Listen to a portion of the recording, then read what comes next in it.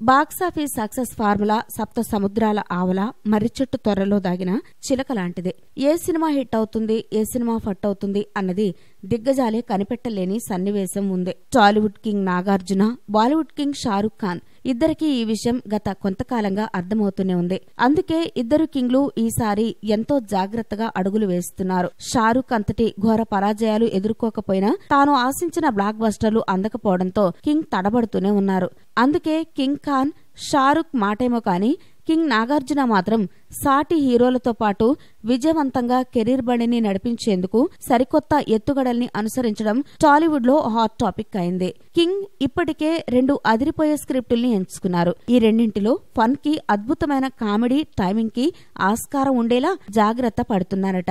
ఆ మేరకు నాగార్జున స్పష్టంగా తన దర్శక రచయితలకు ఆజ్ఞలు వేశారట. అయితే అందుకు తనలో స్ఫూర్తి నింపిన సినిమా మాత్రం F two fun and frustration అని చెప్తున్నారు. సంక్రాంతి బరిలో ఎఫ్ టూ సాధించిన అసాధారణ విజయం చూశాక కింగ్ కూడా వెంకీ దారిలోనే కామెడీ ఎంటర్టైనర్లతో జోరు చూపించాలని భావిస్తున్నారట.